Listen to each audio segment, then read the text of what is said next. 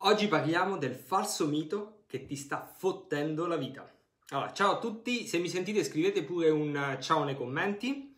Ora, per chi non mi conosce sono Fabio S, da più di dieci anni aiuto bravi ragazzi a diventare bravi con le ragazze e molto più sicuri di loro stessi, ma non nella maniera in cui potresti pensare tu o nella maniera in cui altri cercano di fare.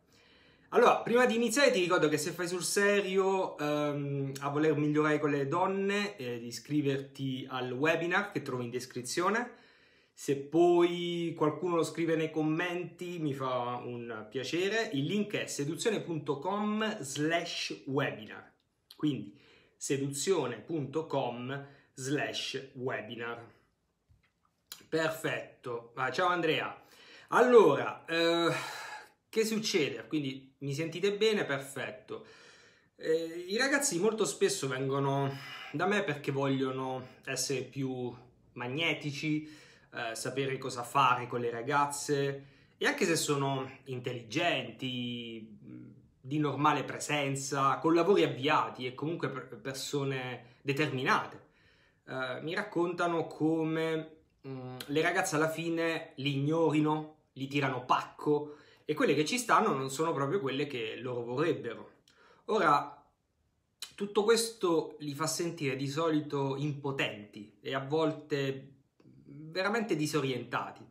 E quello che gli dico sempre è solo una cosa, ed è una cosa molto specifica, ossia per uscire da quella situazione bisogna chiedere aiuto.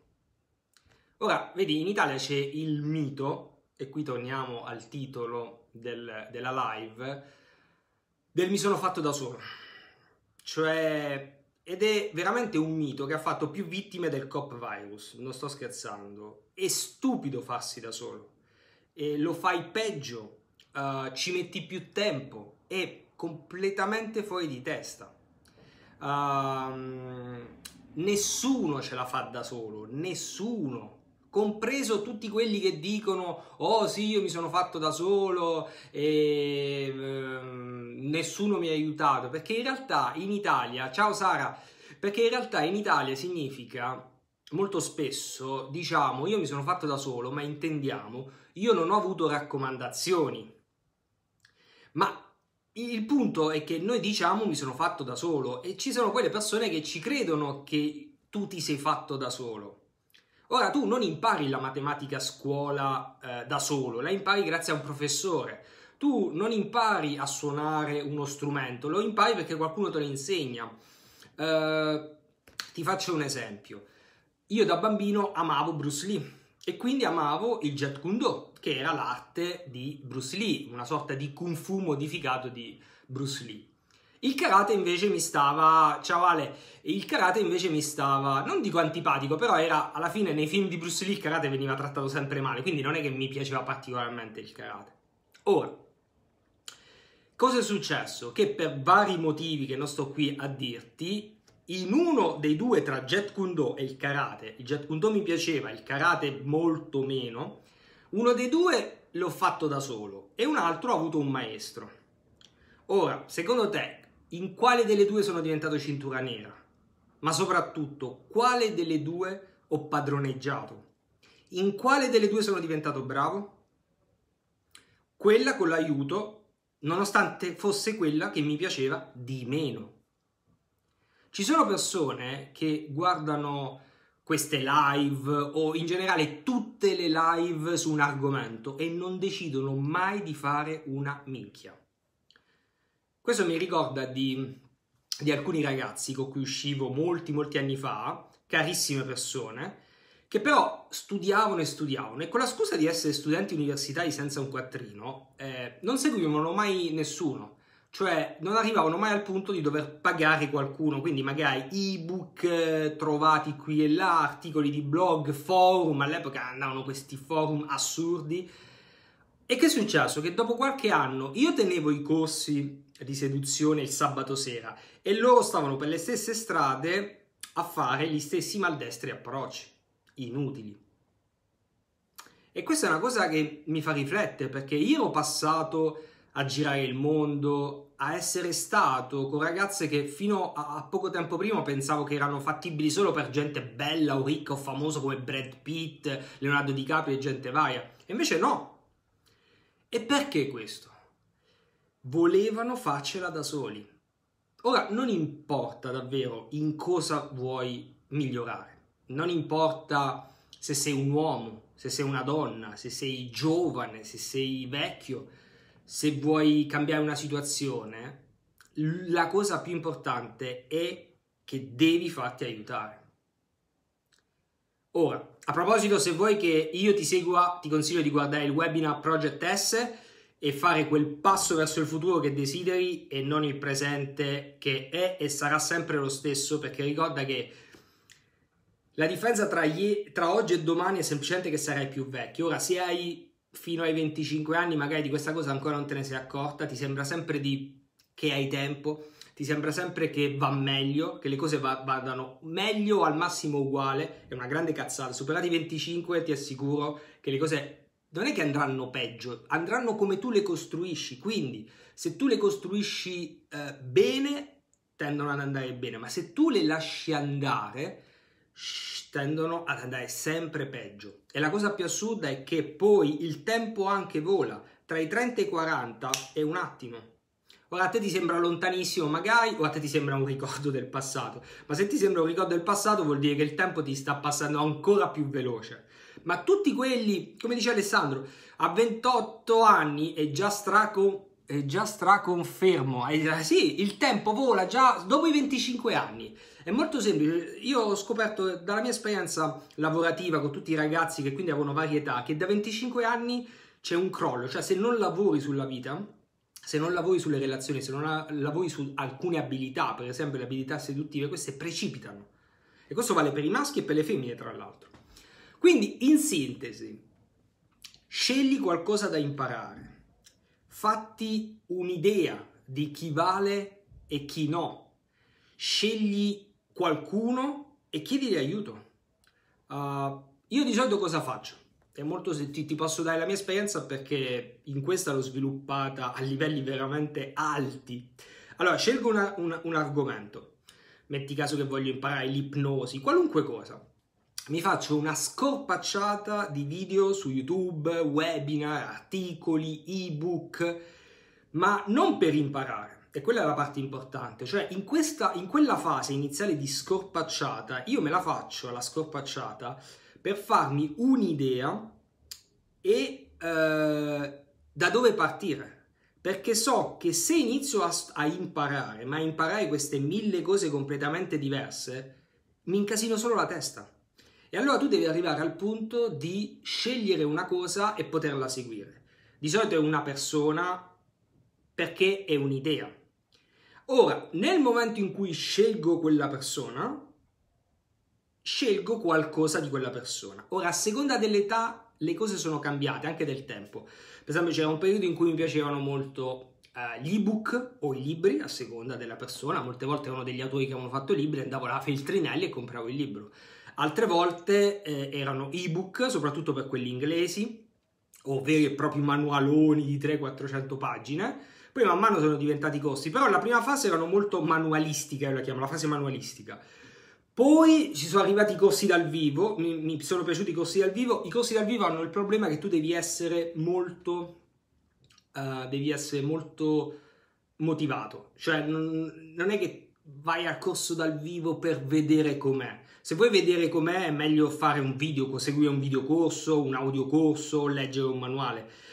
Il corso dal vivo devi essere già focalizzato, determinato, cioè del tipo oh cacchio lo voglio fare, sì sono convinto. Perché se tu vai a fare un corso dal vivo, poi ti metti in ultima fila, non ci andai, non è la scuola. Da, dalla scuola non hai imparato un cazzo, se no, cioè voglio dire, dalla scuola non si impara niente.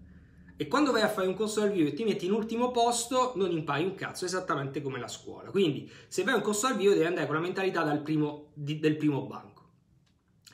E poi invece eh, in, in, questa fase eh, mi sono spostato verso le consulenze one on one, cioè quello che preferisco è cercare la persona che mi può aiutare e cercare il modo di contattarla di persona, al telefono al minimo, ma possibilmente di persona Ovviamente questo prevede di solito un viaggio, di solito prevede un viaggio con l'aereo, quindi i costi lievitano, però così puoi fare domande molto specifiche. Questo è il modo in cui faccio e questo è il modo secondo me più veloce in assoluto. Ha un investimento, ma non c'è cioè, è veramente la differenza tra chi per imparare qualcosa ci mette un mese, tre mesi, un anno, se è proprio una cosa difficile, e chi dopo dieci anni sta ancora allo stesso punto. È, è veramente una cosa, un modo di imparare. Cioè, si impara la seduzione, tu impari la seduzione, ma hai imparato a imparare, perché se tu non sai imparare, che, che, che, tu studi la seduzione, che ti guardi 2500 video di seduzione al giorno, 3700 live, eh, 554 articoli di blog, non cambia un cazzo, letteralmente un cazzo, non lo fai, gioca alla PlayStation, ho comprato The Last of Us parte 2, è bellissimo, gioca a The Last of Us, fatti una gara a MotoGP, ma non, non, perde tempo a guardare i video di uno che ti parla di seduzione se tu non hai intenzione di fare, è completamente inutile. Cioè, te lo sto dicendo contro i miei interessi. Cioè, a me YouTube eh, conta i visitatori, sia se sono dei deficienti, sia se sono gente che lo vuole fare, sia se sono bravi, sia se sono assi. Non gliene frega niente. Ma a me non interessa parlare se tu non vuoi fare qualcosa. È, è proprio una cosa molto semplice. Cioè, chi mi conosce lo sa. Io il master, il master di seduzione, lo faccio ormai da... Il master ci avrà 7 anni, su per giù, i corsi 10 anni, ma il master ha 7 anni e non ho mai superato, cioè ho sempre scelto i 7 allievi. Al massimo in qualche corso c'erano 12 eh, presenti, ma perché? Perché magari qualche ex allievo veniva a salutare io molto volentieri prendevo l'aula da 12 persone in modo tale che i nuovi allievi potessero conoscere anche quelli vecchi per vedere com'era, come non era, per fare domande, ma gli allievi erano 7. Perché? Perché 7 è il numero massimo che io posso seguire. C'è un motivo. Quindi ho già dimostrato abbondantemente che io voglio parlare solo con chi vuole fare, non con chi vuole ascoltare un cretino che parla, perché sennò ti guardi i video di XYZ, che ti dicevo i nomi, ma secondo te, dai, secondo te, mica so così scemo. Ti guardi i video di XYZ, ti fai le seghe mentali o anche fisiche se ti piace o se dell'altra sponda e va benissimo, va benissimo, non guardare questo. Qua, guarda se tu agisci. Non importa se agisci con me o, o, o, vai da X, Y, Z, W o l'alfabeto aramaico, non me ne frega niente, l'importante è che fai qualcosa. Cioè, faccio questo lavoro perché mi piace insegnare. Se non posso insegnare a te, mi piace che tu impari da qualcun altro. È, è molto non so Madre Teresa di Calcutta, non è una cosa altruistica, è proprio che io vedo chi non agisce come un peso sulle mie spalle, cioè mi, mi dà proprio fastidio, non è minimamente altruistico, è proprio egoistico, dico ah che palle, ma via, via, show, solo persone che agiscono, positive. Ok, ovviamente se sei così fuori di testa che dopo quello che ti ho detto vuoi che sia io quello che ti aiuto, guardati webinar Project S, non è il webinar del 21 giugno, o meglio, non è che l'ho rifatto nuovo, l'ho semplicemente tagliato perché quello che avevo detto il 21 giugno che non ci sarebbe stato più, non c'è più. Mi sono svegliato alle 5 del mattino dei lunedì per toglierlo, quindi... Però guardalo perché prima di tutto è tagliato, ci metti meno tempo, quindi magari è un po' più veloce e tutto quello che è, detto là è, è valido e mm, scopri veramente cose interessanti. Ora, io direi che se so, c'è qualche domanda, io volentieri, mentre ti ringrazio e ti dico nel frattempo, voi che state seguendo in diretta, sparate pure un mi piaci o un mi fa cagare. Per fortuna non c'è il mi fa cagare su Facebook, però sarebbe, sarebbe bello, tipo in diretta mi fa cagare ed esce la cacchina. No, la cacchina. Bravissimi. Mettete pure mi piace, se avete domande sparate pure. Io sono qui, uh, nel frattempo vi ho detto di uh, guardare il webinar, iscrivetevi, anche se eravate, vi siete già iscritti all'altro vi potete tranquillamente riscrivere un'altra volta, non, non c'è problema.